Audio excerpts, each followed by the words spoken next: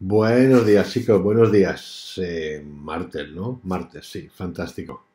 Hoy tenemos un tema súper interesante.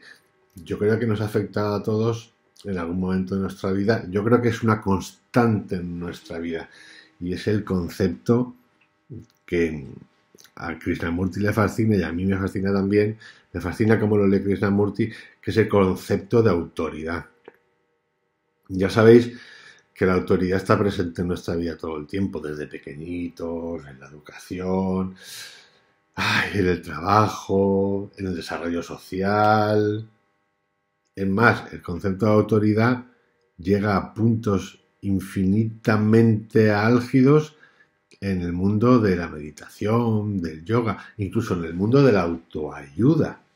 Y es increíble, o a mí me resulta increíble, cómo podemos establecer un cambio de cromos, que incluso llega a puntos fantásticos, que son, yo los llamo hasta cromos religiosos, ¿no? Donde de repente una movida ahí meditativa, yógica, filosófica, de un mundo religioso, digamos, europeo, ¿no? A un mundo asiático, budista, hinduista, eh, japonés, lo que, lo que os dé la gana.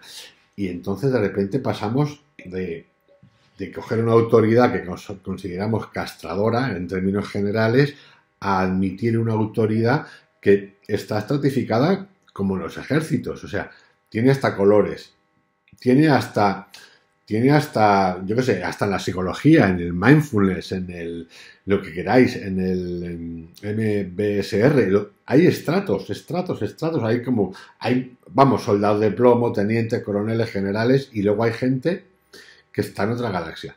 Y lo fascinante de esto, a mí lo que me fascina lo que me hace preguntarme es qué facilidad tiene el ser humano, tenemos, de adoptar esas creencias de personas humanas, de carne y hueso, como nosotros, que de repente les damos pero esto pasa en la meditación, pero pasa también en la autoayuda. Hay una serie de gurús ahí de la autoayuda que son fascinantes, solo le falta andar por las aguas. Hay uno que es el de la así, es muy grande, que se hace a la gente pasar por, por, por ascuas de fuego. Algunos se han quemado, ¿eh? Algunos, otros no sé qué va a pasar que nos han quemado. No lo sé. Que le damos esa facultad de, de ser seres superiores que están en la Tierra. Digamos que es el concepto de Marvel de héroes, que pertenece a Marvel, pero en, otro lugar, ¿no?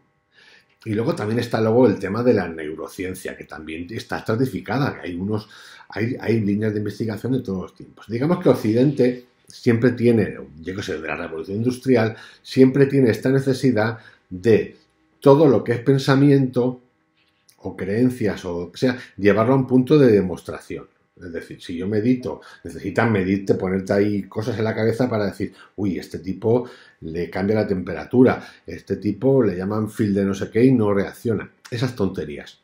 Pero todo es un fin, todo tiene un fin económico. O sea, no hay nada que esté libre de un tema de poder o de economía.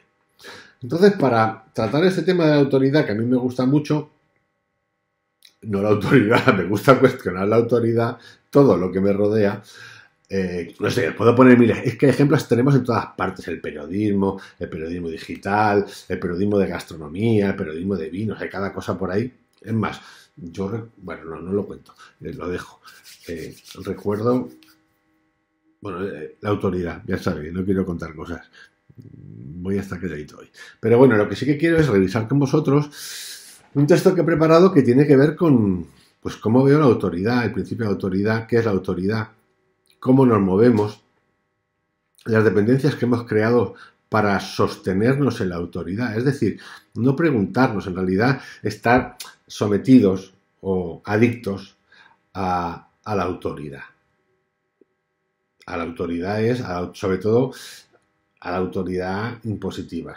Mm, mm, mm. Entonces, para eso recurrimos a muchas cosas, farmacología, drogas eh, ociosas, drogas eh, de farmacéuticas, eh, alcohol, varios, meditaciones, buscando la solución, mindfulness, base, stress reduction, yo qué sé, visualizaciones, cambio de dietas, solo verdura, no como pollo, no como huevo, lo que, que os dé la gana, es que estamos todo el día ahí, ahí, ahí, ahí.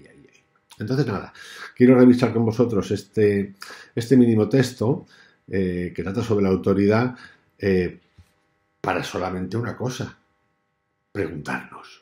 Preguntarnos dónde estamos, qué es la autoridad, como a veces también somos autoritarios, porque esto no es una cuestión de la autoridad es los de arriba, no, todos tenemos en nuestro, en nuestro espacio vital, en nuestra vida, según donde nos movamos, ejemplos donde somos autoritarios o ejercemos la autoridad.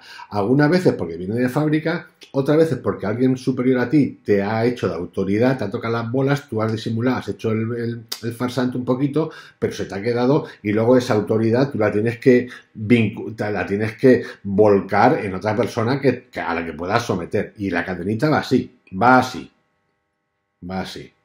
Esto es muy normal, es muy humano, ¿ok? Entonces conviene ir preguntándonos el tema de la autoridad y cómo aceptar la autoridad o no aceptar la autoridad o preguntarnos. Bueno, ahí vamos. Seguimos la autoridad de otro, la experiencia de otro y luego la dudamos. Esto es muy común en todos. Esto es un ejemplo que yo lo hago mucho. O sea, yo de repente me meto con algún elemento que me gusta mucho, pam, pam, pam, por ejemplo, Murti que me fascina, y he pasado por fases de todo tipo. He pasado de verlo, o sea, si lo veo en vídeo y lo oigo, veo y oigo, me crea una imagen. Si solo lo oigo y no veo vídeo, me crea otra imagen. Eh, si luego escucho lo que me dice y lo trato de analizar, me provoco las cosas. Me ha de todo. He vuelto a él, porque a mí me parece el, el elemento número uno. No es que sea el gurú, es que es el que se atreve a ponerle nombre a las cosas o a hacernos preguntas que los demás no nos hacen. Es un ejemplo de una persona que no te dice lo que tienes que hacer, como la gran mayoría. Hay alguno que otro que, bueno, que anda así, ¿eh? y que no dice cosas extrañas, simplemente que te pregunta. Entonces, por eso a mí me gusta mucho. Entonces, seguimos la autoridad de otro, la experiencia de otro y luego la dudamos. De repente adoptamos a una persona, que sea, pero puede ser también en el trabajo, en los líderes de las empresas. Fíjate cómo era Bill Gates, ya, cómo era Steve Jobs, ya sí, pero Steve Jobs se murió porque se automedicó. Bueno, es, su elección. Es su elección. Ahora, eh, llevarlo nosotros a ese punto, pues yo lo llevaría, pues yo creo que no. Yo, no yo comería a lo mejor frutos secos y tal para curarme, pero también acudiría a la medicina. Sí, las dos cosas, no pasa nada, no me va a sentar mal. ¿eh? Pero entonces tendemos siempre a mitificar. Entonces, seguimos la autoridad de otro, la experiencia de otro y luego la dudamos. Esta búsqueda de autoridad y su secuela, desilusión, porque es una desilusión, es un proceso doloroso para la mayoría de nosotros. Bueno, hay gente que no, hay gente que es tan ciega que ni siquiera duda, y ahora revisaremos ejemplos, ¿no? Eh, que está ahí, ahí, ahí, ahí. Pero en realidad, digamos que en ese proceso, y eso es lo que entiende, bueno, Krishnamurti de busca de autoridad, porque necesitamos protección, necesitamos, necesitamos, nos sentimos como endebles, como inseguros, entonces alguien, necesitamos la justificación de alguien para que te diga, ay, coño, eres bueno, ay, sí, tú este es el camino que te va a llegar al éxito, lo que tú quieras. Eh, pero lo normal es que en un momento dado dudemos. Hay gente que no, hay muchos millones de gente que no duda de nada, ¿ok? Pero el asunto va más hacia una primera cuestión de la autoridad, dudar de la autoridad y luego ir hacia adentro, hacia adentro sí, hacia ti, o sea, hacia adentro, no meterte así, hacia ti, pensar en qué estás haciendo, qué tipo de autoridad estás aceptando y qué tipo de autoridad, si es que ocurre, estás tú implantándole a los demás. Esa es la pregunta. ¿Ok? Culpamos o criticamos a la autoridad una vez aceptada, al líder, al maestro, pero no examinamos nuestro propio anhelo de autoridad que puede dirigir nuestra conducta. Una vez que comprendamos este anhelo, comprenderemos el significado de la duda. O sea, entender por qué queremos ser autoridad. ¿Tú quieres ser autoridad? Tú quieres ser el cocinero más genial del mundo que sabe todo, que nos va a decir cómo va la vida. Tú quieres ser el coach que va a decir tal. Nosotros preguntarnos, tú eres el líder excelso mm, de, yo qué sé, de lo que tú quieras, de empresas que nos vas a llegar a todos. ¿Tú quieres ser eso? O, o la otra pregunta, ¿qué tipo de autoridad acepto yo? ¿Y por qué la acepto? ¿Me hace bien, me hace mal? ¿Me obliga, no me obliga? Esas dos preguntas. No hay en nosotros una tendencia muy arraigada a buscar dirección, a aceptar autoridad. Tenemos una tendencia muy arraigada a buscar dirección, a, que nos guíen, a aceptar autoridad. ¿De dónde viene este impulso en nosotros? ¿Nos surge de una manera propia? esta incertidumbre, de nuestra propia incapacidad para saber qué es verdad en todo momento? Esta es la pregunta que desde pequeños consiguiéramos que nos enseñasen a tener criterio, a entenderlo, a ponerlo en marcha y a partir de ahí ir moldeándolo como tú quieras, no a una autoridad, a un criterio impuesto que cuando somos pequeños y nos están educando nace de una base que yo acepto como buena, porque nuestros padres nos han, o sea, nuestros padres yo entiendo que nos han querido educar bien. Lo que pasa es que vienen con sus paquetes, igual que los padres de ellos. Igual que nosotros venimos con nuestros paquetes autoritarios. Por eso es importante, que ya lo veremos más adelante, descubrir esa área donde tú puedes experimentar de manera unilateral, sin influencias de nadie. Que te digan que es lo correcto, que no, el camino de la verdad, de la excelencia, de qué acepto, de qué no acepto, de cómo relacionarte con tu mujer, con tu novia, con tu novio, con lo que te dé la gana con la familia, no sé. Queremos que otro nos trace el mar de nuestro conocer. Deseamos estar seguros, deseamos encontrar un refugio seguro y seguimos a cualquiera que nos dirija. La incertidumbre y el miedo buscan orientación. La incertidumbre y el miedo buscan orientación y obligan a la obediencia y al culto a la autoridad. La tradición, la educación crean, nos crean patrones de obediencia. Uno, ¡ay! Quiero certezas. ¿Quién me da certeza? Por un patrón, yo que sé, que venga del pasado, por, porque me da, porque me da, me da, es que me, es que me tranquiliza. ¿Te tranquiliza? ¿Qué te tranquiliza? ¿Te tranquiliza que te manden? ¿Algún momento en tu vida vas a, vas a tener la capacidad de pensar por ti mismo? Necesitas que te digan, Necesitan que te den el soma. Ay, toma la pastillita, me la tomo, por ejemplo, la farmacéutica. Ay, voy ahí al centro de meditación, me dan el curso, me hago profesor, profesora y digo a la gente lo que tengo. Ahora yo mm, transformo la economía de la, de la, de la nutrición y, la, y, y aquí tengo yo el... ¿Tú necesitas eso? ¿Tienes capacidad de escucharte? ¿Tienes capacidad de pensar por ti mismo? ¿O por ti misma? ¿Ah? Preguntas la autoridad.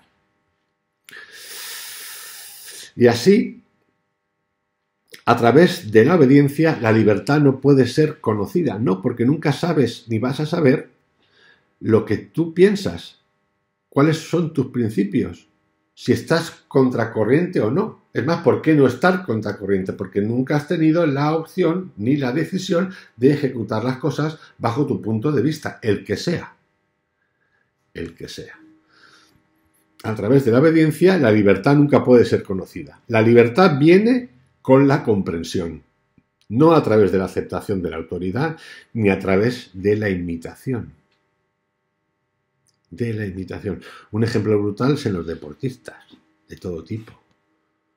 Siempre están los guías, los maestros que te van a decir lo que tienen que hacer. Y hay verdaderas barbaridades de todo tipo los guías. El ejemplo del el deporte profesional existe como en la alta empresa, los ejecutivos y tal. Es la misma la formación. Vete aquí, vete allá, lo que tienes que hacer, cómo tienes que hacerlo. Y hay verdaderas barbaridades. Y luego hay una cantidad de incapacidad emocional alrededor de esa persona que es brutal. O sea, sí, sí, sí, es un líder. Bueno, le han dicho que es un líder, es auto, lo han proclamado líder, tiene la autoridad de líder. Y luego es un incapaz.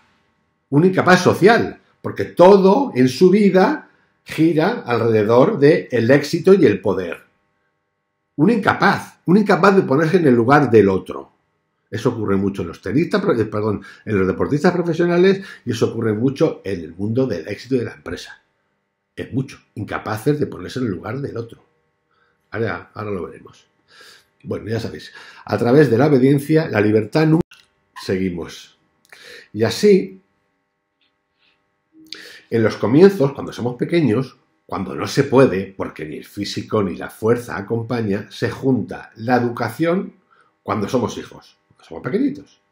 dada con buena intención por parte de nuestro entorno, por nuestros padres, de lo que aprendieron. Y eso nos marca, nos marca, digamos que es un espacio de tiempo en el cual, más allá de que empecemos a percibir ciertas cosas de que no me gustan, no me gustan, no tiene que ver, no es una crítica ¿eh? hacia los padres ni nada, es un, proceso de, hostia, esto no me gusta, esto me obligan, esto tal, ¿eh? dentro de un entorno educativo. Pero ya empezamos a tener la primera, la primera y ahí eh, existirán muchos momentos, todos tenemos recuerdos, donde mm, sabemos, sabemos, porque con el tiempo lo hemos visto, de cómo nos han ido colocando a ciertos, lugares, a ciertos lugares que los demás, en este caso nuestros padres, la familia, pensaba que era lo correcto. En esos momentos puede ser desde un golpe, un castigo, puede ser una limitación, puede ser el entendimiento que los otros hacen de lo que debe ser nuestra conducta y caminos el buen camino a seguir. Aquí pueden hacer el primer conflicto, lo que os acabo de explicar. No, no es esto una cuestión de culpar a nadie, sino de revisar y revisarnos de dónde venimos por lo aprendido por imitación, por imposición, por tradición o por educación.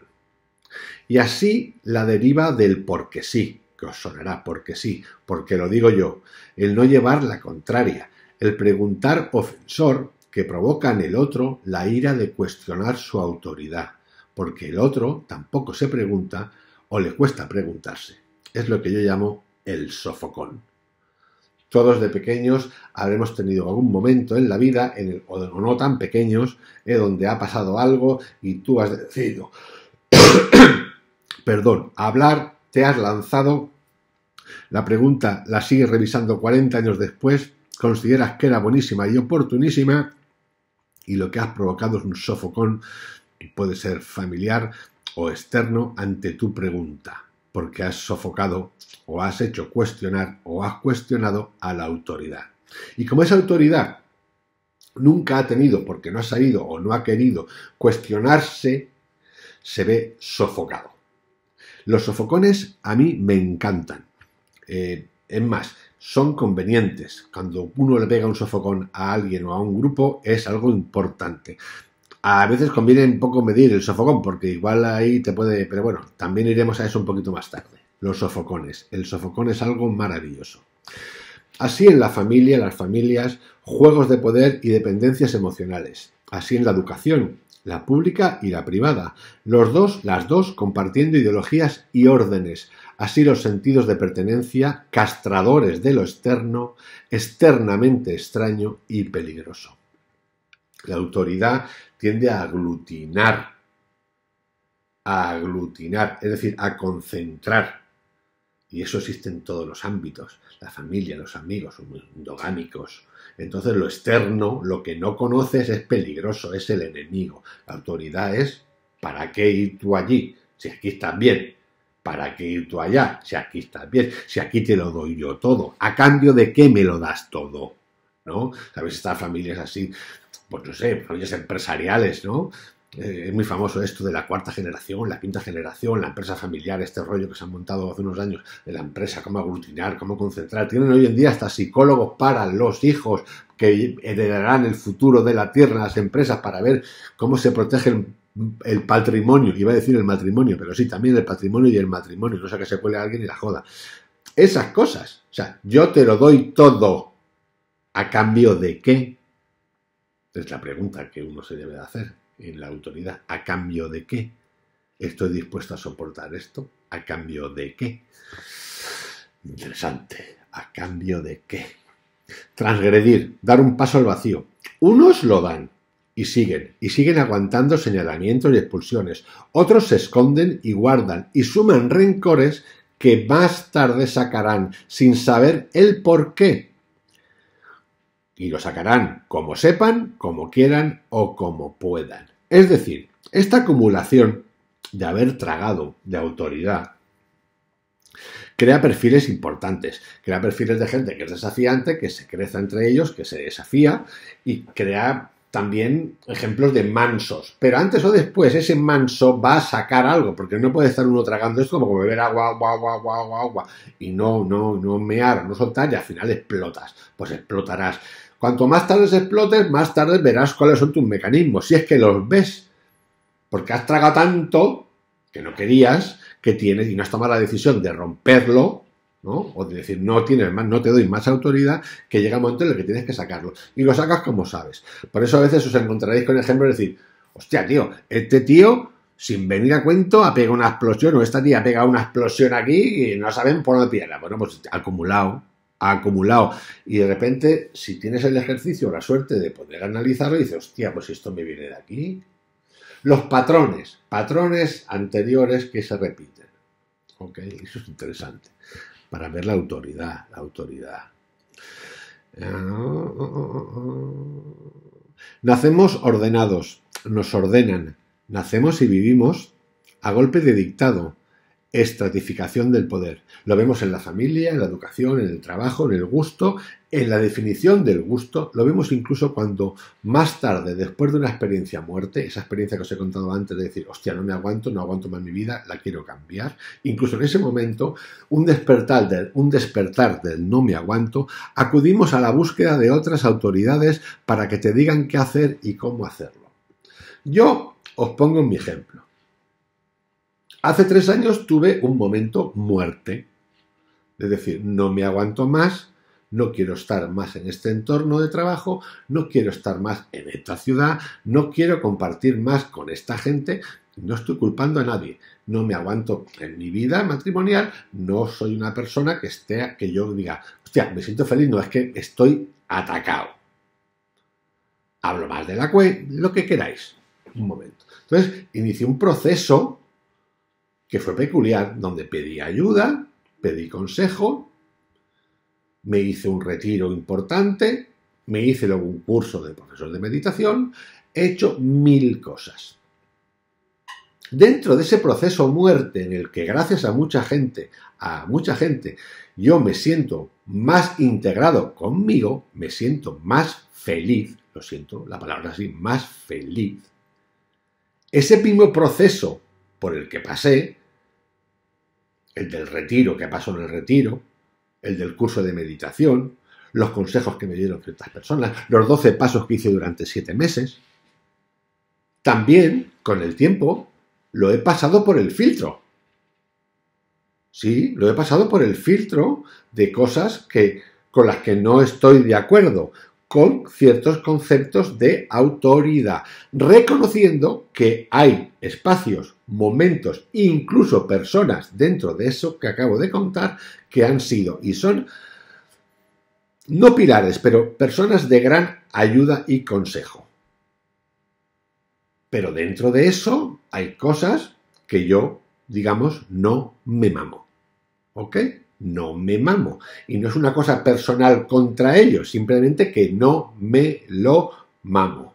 ¿Ok? Entonces, a eso me refiero incluso después de haber pasado por una experiencia de viaje, muerte, uno va a buscar qué ha ocurrido en ese espacio, en ese espacio de ayuda, ¿no? Donde he ido a buscar, ay, que me arreglen el esto emocional, que me den la pastillita, pues no, yo la pastillita me la tomé y luego la digerí y luego dije, no, ahora la pastillita soy yo. Yo soy la misma pastilla. Y yo me lo pregunto. No necesito a nadie que me esté dirigiendo este es el camino del Señor, este es el camino de la sanidad, este es el camino de la conducta, este es el camino de la comodita perfecta, aquí vas a vivir 1500 años, este es el camino donde después de que te mueras vas a encontrarte en el paraíso. No. Ok. Nacemos ordenados, nos ordenan. Incluso cuando hay una experiencia muerte, un despertar del no me aguanto, acudimos a la búsqueda de otras autoridades para que te digan qué hacer y cómo hacerlo. Ya os lo he explicado. Y nada, nada, un ratito, un buco de aire. Y vuelta a empezar. Pues sigue la autoridad disfrazada de otra cultura, de otra religión, de otras ideologías, cualquier cosa menos descubrir tus miedos, quitarles el poder a la autoridad, quitarle el poder a tus hábitos, saltar al vacío por una vez o por mil veces que vengan. Es fascinante, a mí me fascina cómo el ser humano, el ser humano occidental, tiene ese poder porque solo le pasa al ser humano occidental, porque el ser humano oriental, llamado de la India, budista, Japón, no tiene ese flujo tan potente hacia nuestra cultura, digamos, meditativa, religiosa, filosófica, no, pero Occidente ha dado un paso hacia Asia en el terreno de la investigación de la meditación, del yoga, que es fascinante. Entonces comulga con rueda de molinos de todo lo que le haga falta y más. Sin cuestionar. Parece ser que ahora todos son caramelitos de rosa. Y lo que yo quiero explicar aquí es que a mí me fascina como cultura esas culturas, otras culturas, indígenas, no indígenas, del norte, Anui, lo que tú quieras, como aprendizaje para ver qué cosas de ahí me pueden servir a mí. A mí me gusta mucho el tratamiento que hacen de la mente los países, las, culturas asiáticas, que Europa no lo ha tenido. Lo ha, tenido desde un punto de vista más religioso, aunque ahí también ha sido un poco religioso, pero muchas, muchas de ellas no son religiosas. Entonces, esa parte me interesa muchísimo. Pero de ahí a aceptarlo todo eh, como magnífico, pues no, no, porque algunas de ellas son religiones y algunas de ellas tienen, muchas de ellas, estructuras tan, tan, tan cerriles y tan cerradas como la cultura cristiana, católica, musulmana, judía de Occidente. Así de claro. Pero parece ser que la gente como que no la acepta. Y como yo estoy cuestionando la autoridad, por eso os pongo este ejemplito. Se habla de responsabilidad pero es una responsabilidad externa, dependiente. Nunca se habla de tu responsabilidad interior, de la verdad, la del no, la de la libertad. ¿Qué quiere decir esto? Ser responsable, ser responsable. Vosotros lo habéis oído mil veces, yo también, mil millones de veces. Pero responsable hacia quién? ¿Hacia ti o hacia el sistema? ¿Hacia la tradición? ¿Hacia los prejuicios? ¿Hacia el orden de amigos? ¿Hacia la empresa? responsable. No, responsable tienes que ser tú contigo. Con tus principios, con tus valores, con tus opiniones, con tus criterios. Responsable hacia los demás es ser un jaimito. Un jaimito. La autoridad. La autoridad tú. Responsable tú de tus actos. De lo que tú aceptas y no aceptas. Nos apegamos al clientelismo al trabajo, al progreso, bajo el amparo del miedo y nunca de la libertad. Discrepar siempre va de la mano de dame la solución. Afrenta a la búsqueda. Golpe de mano del instructor. Miedo. El que no da resultado tiene que dar explicaciones. Repito, nos apegamos al clientelismo, al trabajo, al progreso, bajo el amparo del miedo y nunca de la libertad. discrepar siempre va de la mano de, en el mundo empresarial, por ejemplo, dame la solución. ¡Ja! Tócate los huevos. Afrenta a la búsqueda, lo estás ofendiendo. O sea, tú preguntas, estás buscando, pero como no tengas la solución, lo que tienes es un problema. Es un golpe de mano del instructor, el miedo, el que te amenaza. El que no da resultado tiene que dar explicación. Hay que joderse. El que no da resultado, hay, tiene que dar explicación. Pero claro, es unidireccional.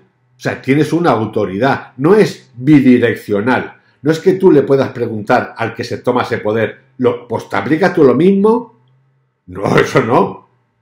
Eso no. ¿Te aplicas tú lo mismo? No. Entonces, la autoridad, el concepto de autoridad. El que no da resultado tiene que dar explicación. Pero ¿quién es el que se arroga el derecho a imponer esta máxima? El que maneja tu vida con el miedo. Con el miedo a que te despidan, con el miedo a no ascender en un puesto laboral o político o lo que sea. Y así todo, en las relaciones, en la fe, en las creencias, en la educación. Elegir una y mil veces, equivocarse y saltar. Qué pena que no nos enseñen a ser independientes, no dependientes. Qué pena que nosotros tampoco enseñemos la independencia. Y así aceptamos, por ejemplo, las religiones teocráticas, que no respetan la igualdad, que no permiten el acceso del otro género, femenino. Aceptamos que las tapen, que las cubran, como los musulmanes. Aceptamos que las que nos maten, como en Francia estos días. Aceptamos que nos digan cuál es el concepto de familia dictado por unos incapacitados para unir familias que no permiten el matrimonio. Y seguimos pensando en Dios, en su Dios justo y liderado por traidores al amor y al libre albedrío. Este tema es peculiar porque seguidores de religiones hay muchísimos. Es más, algunas son estados. Pero aceptamos las creencias, la autoridad. Aceptamos su autoridad. Aceptamos tener un mediador entre nosotros y supuestamente Dios. O sea, si yo quiero hablar con Dios, vamos a hacer un supuesto. ¿Por qué tengo yo que pedirle permiso a un cura? o a un maometano. Si yo quiero hablar con Dios, hablo con Dios. ¿Por qué? Por mis cojones. Explicaciones, cero, ninguna. Mediación, cero. Curso para hablar con Dios, cero. Cero. ¿Por qué? Porque yo quiero. Punto final. Pero claro, llegar a esa conclusión es como que uy, se ponen nerviosos todos con todo lo que han hecho culturalmente por el mundo. ¿Vale? Pero seguimos, y así aceptamos ideologías sanguinarias y despóticas, como la comunista. Y las defendemos, y las dotamos de medios, igual que las monarquías. Y nos damos golpes en el pecho de patria o muerte o de democracia, donde unos son especiales y otros especialmente borregos, y seguimos. Y sí, en el tema político es brutal. O sea, la fábula de la autoridad. Sigue el comunismo, se acabó el, nazismo, se acabó el fascismo. Bueno, en, países democráticos, ¿no? Lo otro no, sigue, pero en democracias es como fascinante. Pero seguimos, seguimos, seguimos, seguimos, seguimos. Y no pasa nada, porque los muertos son otros, la autoridad, la autoridad. Oye, pues oye, no pasa nada, oye, no pasa nada. Entonces dices, bueno, pues nada, le damos autoridad. Entonces, en democracia, pues tenemos supuestamente estados igualitarios, pero no hay igualdad. Porque en momentos, por ejemplo, como el COVID, lo que hay es desigualdad, donde una clase política se puede subir el sueldo y los que no son funcionarios o, trabajadores públicos, eh, pues se quedan sin trabajo, pasan con ERTES, mientras que los funcionarios públicos siguen cobrando. Igualdad es igualdad. Horarios laborales distintos, diversos. ¿Por qué existe el negro en las estructuras empresariales privadas y no existe lo público? Porque puede. ¿Por qué trabajan horas extras mucha gente en el mundo empresarial y ahora más todavía para mantener su trabajo? Pues porque sí, si es que es así. Igualdad, igualdad es igualdad. Lo otro son, pues eso, una autoridad impuesta que no nos interesa tampoco cuestionar. Porque si, nos interesase cuestionar, tomaríamos medidas, pero no las tomamos porque nos resulta más fácil el soma. El soma el soma. Lo mismo en el trabajo y las empresas, en las riquezas infinitas de unos cuantos a los que alabamos por donación, más allá de la mano de obra esclava que utilicen. No pasa nada, la autoridad, estamos ciegos, la autoridad, qué maravilla. El miedo, la promesa de un más allá, que nos cuentan humanos vivos, iluminados, hablando de lo que nos espera después, seres, personas que están aquí en la Tierra y parecen tener una puerta al club de los iluminados donde saben qué viene después, cuál es tu karma, qué te va a pasar y sobre todo, sobre todo, enseñarte y, convencerte de que el dolor es aceptación y la psicología positiva la solución a tus pobrezas. El desapego, todo un arte de convencer. La autoridad. Tiene huevos, tiene huevos, ¿eh? porque es que es, es una cosa, ¿eh? La promesa del más allá, en estas épocas, en este desarrollo súper, súper, súper espiritual que tenemos y de control de las emociones y de inteligencia emocional, donde le damos todo a una serie de personas que de repente nos cuentan y nos educan cómo tenemos que tratar nuestras emociones, qué hacer, pero sobre todo, pero no para que te preguntes, sino para darte la solución. Es como quieres ser millonario. Yo soy un pobre mierda, pero tú quieres ser millonario. Yo tengo un curso de millonario. Pues yo, yo dos mil pavos. Pero yo tengo un curso para que te hagan millonario. Pero tú no eres millonario. Y esas cosas que dices, ¿será posible? ¿Será posible? Y no entremos ya en el tema de esto de la espiritualidad, del autoayuda, de, de la meditación, del yoga, de la parte tántrica. Un segundo que vamos a apagar esto porque esto es terrible. Cállate. donde te están hablando de la otra vida, gente que está en vida, o sea, pero tú eres un ser que ha tocado, o sea, es que es acojonante, pero no lo mamamos, pero eso igual está en la fe. En la fe.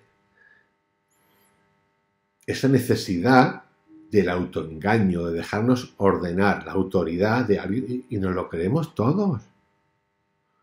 Nos lo creemos todo pero de un gurú sale una rama de gurús, de la rama de gurús salen los hijos de los gurús, luego en la, organización se pelean para ver quién quiere ser el gurú, el gurú se divide en dos asociaciones de gurús, eh, queremos en la eternidad, pero nos repartimos las cenizas de, Gandhi, esas cosas así, y dices que estamos todos, la autoridad, pero seguimos ahí, seguimos, seguimos así.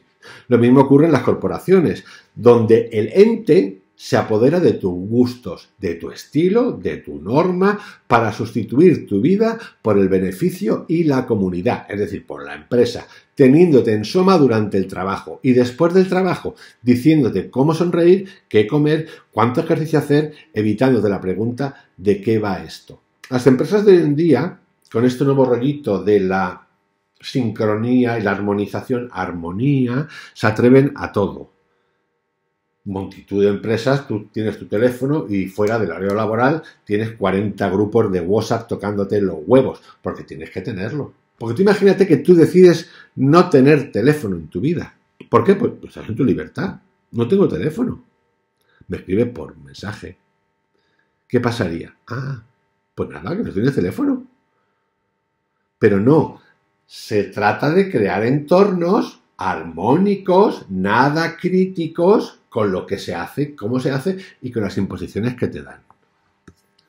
La autoridad. Pero esto es así, esto es así de antes, pero ahora estamos llegando a puntos fantásticos, donde la psicología positiva está llegando al punto donde la empresa es tu familia, tu casa.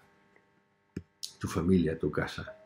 La autoridad es larga y todos la sufrimos y aplicamos. Tiene escalas, escalas incluso para los que se consideran poderosos. Siempre hay alguien con más de algo que tú. El juego de los avalorios sería más bien hacernos la pregunta de si queremos participar en esto o bien entender lo que trae participar en esto. ¿Quieres participar o quieres seguir en el juego? Por lo menos tenlo claro. ¿Qué ocurre? ¿Qué te ocurre? Si quieres ser parte del sistema o no. Y si quieres ser parte del sistema, pues reconócete. Nos dicen cómo comer, cómo pensar, cómo controlar y, diversificar nuestras emociones, qué beber, qué contar, cómo tener éxito, qué comprar, qué gastar, qué es la belleza. Pero nadie nos dice ni nos habla de ahorrar, de que el trabajo ha de ser un subordinado de la vida, repito, de que el trabajo ha de ser un subordinado de la vida, repito, de que el trabajo ha de ser un subordinado de la vida y no al revés, de que en democracia no puede haber privilegios, de que fe y creencias son libre albedrío y igualdad, y no ceguera. No, eso no. Se busca una versión única del ser humano. Se impide lo auténtico, una hipocresía, hipocresía, donde todos sabemos qué ocurre, pero cambiamos de cara según donde estemos y qué esté en juego. El arte de la adicción y el miedo. Interesante, ¿eh? Nos dicen qué pensar. Para tratarnos el dilema que nos provoca la autoridad, a unos los medican, a otros, otros se automedican, convirtiéndonos en prosélitos de la solución. Es decir, no me pregunto, yo he probado la pastillita, yo te digo lo que tienes que hacer. Chico, mira, estás deprimido, toma, está. Tú no, no, no te preocupes. ¿Para qué ponerte triste si te ha pasado algo? Óbvialo, tú sigue, sigue. O sea, tú, tú sigues, sigue, es mortal. Otros se medican y siguen religiones y sectas. Otros se funden en la, en la neurociencia y además se medican tienen fe y hacen cursos de, aclaramiento emocional con solución incluida. En algunos casos exagerados se llega hasta la visión del más allá en una píldora común que comparten tanto la farmacología como la meditación autoritaria. Dependiendo de la dosis de soma que tomes, puedes ver unas cosas o otras. En fin, todos son órdenes bien vestido en el trabajo, vida holística y preocupada por la tierra, comida sana, buena posición para sentarse en meditación, respiración medida, 1, 2, 3, 4, exhalas, 1, 2, 3, 5, inhalas. Cero crítica, dame soluciones y no problemas, estate dispuesto 24 horas, teléfono encendido, cumple objetivos, imposición de objetivos que nunca se pueden lograr, excelencia impuesta por unos psicóticos del beneficio, incapacitados sin dopaje para entender la vida fuera de sus entornos de poder. Y lo mismo a escala menores, algo así como al que someten sacará su furia sometiendo a otros y así sin parar. Toda una locura la autoridad. Cuestionar la autoridad, cuestionarte a ti, cuestionarte si tú ejerces autoridad sobre otros y por qué lo haces.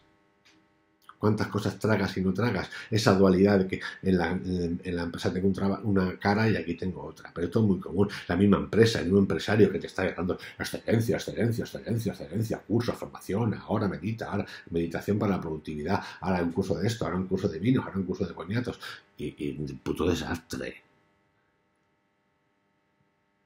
Pero todo lo demás es un puto desastre.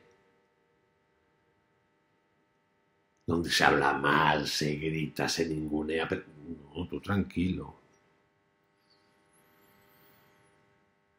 Conductas inaceptables. O sea, la vida va por un lado en tu vida y la vida en tu entorno laboral o en tu entorno familiar va por, por otro lado. Y, o sea, que puedes tener una miríada de posibilidades en la que dices, bueno, yo no soy ninguno de quien yo soy de verdad en ninguno de los sitios.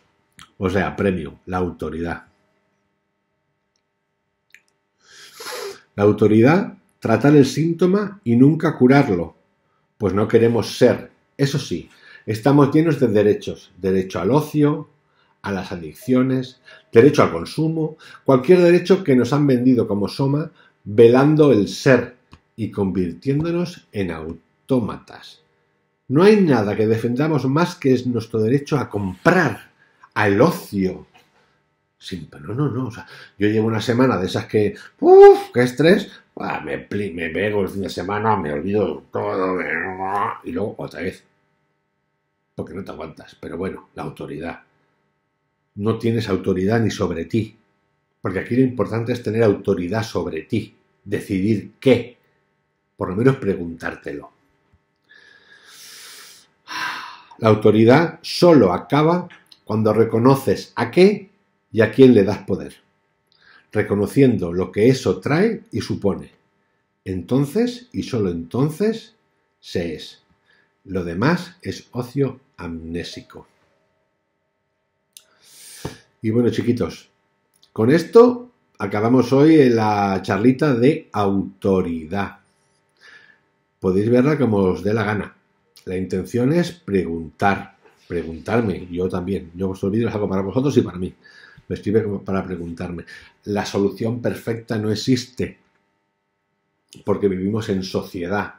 Lo que sí que existe es la decisión de cada uno de reconocerse y saber qué, y ser valiente, y saltar como la foto que tengo puesta ahí en mi Facebook y en mi página web del pájaro pequeñito que salta de un tronco y que se tira para ejecutar su primer vuelo. Pues eso es lo que hay que hacer, volar, volar, volar y cuestionar la autoridad. Bueno chiquitos, os mando un abrazo fuerte. Martes hemos empezado la semana muy fuerte.